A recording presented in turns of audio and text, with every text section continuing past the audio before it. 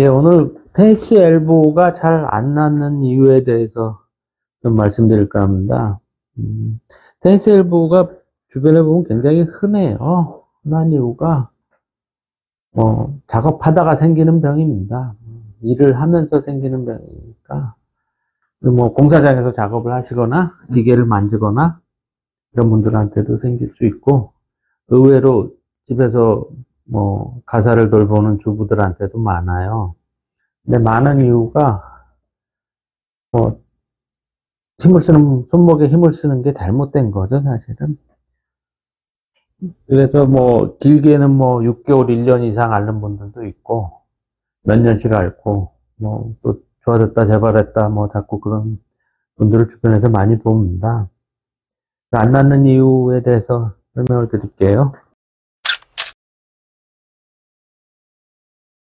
테니스 엘보가 생기는 자리는 여기입니다. 여기 팔꿈치의 바깥쪽이죠. 이 부분에 생기는데 여기에 붙어서 힘줄이 이렇게 있고요. 그거 따라서 근육이 근육으로 이렇게 쭉 내려옵니다. 이 근육이 손목을 위로 올릴 때 쓰는 근육이에요.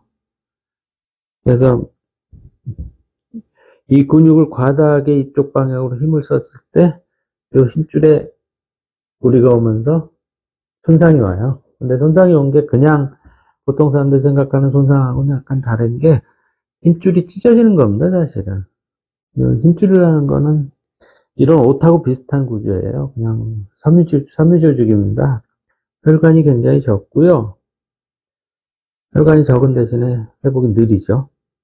피부나 뼈는 다치면은 고정을 해놓으면 잘 붙어요. 그건 혈관 조직이 많아서 그런 겁니다. 근데 힘줄 조직은 혈관이 적어요. 그래서 손상을 받고 나서 회복되는 시간이 많이 걸리거든요.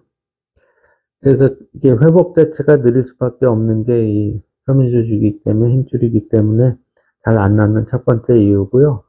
두 번째 이유는 사람들이 일상생활에서 보면은 이 손목을 위로 올리는 이런 동작에 힘이 들어가는 게 많아요. 아까 말씀드린 작업할 때도 그렇지만은 주부들이 뭐 후라이팬을 이렇게 들고 조리를 한다거나 용뚜껑을 열고 뭐 이런 동작 그리고 뭐 그런 동작을 의외로 많이 하게 되거든요. 그래서 힘에 붙이는 동작을 하다 보면은 못 견디는 거죠. 어느 한도를 넘어서면은 손상이 옵니다. 찢어지는 거예요. 말 그대로. 그래서 이렇게 해서 말씀드리면 딱 두 가지 아까 말씀드린 첫 번째 힘줄 자체 회복이 느린 겁니다. 느릴 수밖에 없는 조직이에요.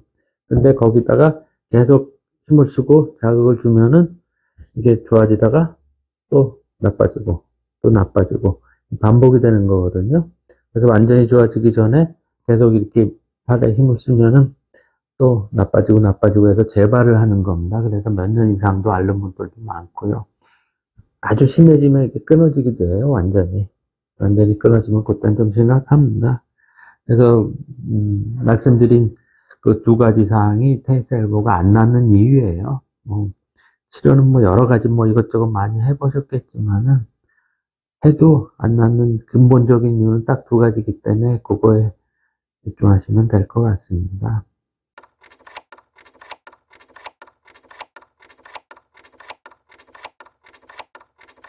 네, 오늘은 그 엘보가 잘 안 낫는 이유 두 가지에 대해서 말씀드렸고요. 잘 이해가 되시나요? 뭐 궁금하신 거는 뭐 댓글로 남겨주시면 뭐 제가 봐서 답변을 드리겠습니다. 그리고 다음번에 요 치료에 관한 얘기를 좀 더 할까 해요. 오늘 두 번째 2탄에서 하겠습니다. 네, 수고하셨습니다.